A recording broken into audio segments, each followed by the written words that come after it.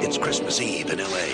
California. Is Daddy coming home soon? Well, we'll see what Santa and Mommy can do, okay? A New York cop John McClane has come to see his wife. I missed you. Instead, he's going to have to save her.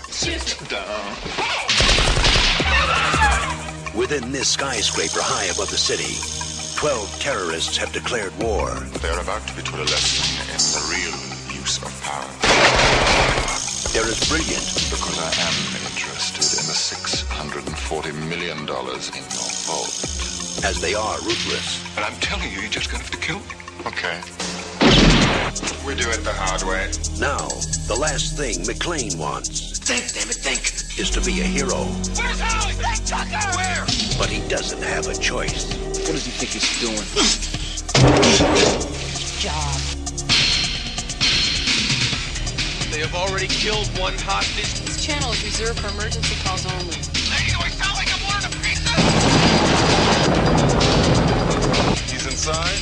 Who is he? Who are you then? You are most troublesome for a security guard. Yeah, sorry, wrong guess, huh?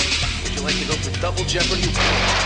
Do you really think you have a chance against us, Mr. Cowboy? Yippee-ki-yay, mother... But you just destroyed a building.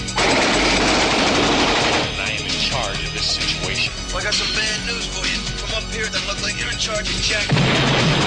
He is alone, he is tired, and he hasn't seen Dippin' Squat from anybody down here. Hey, pal, how you feeling? All things being equal, I'd rather be in Philadelphia.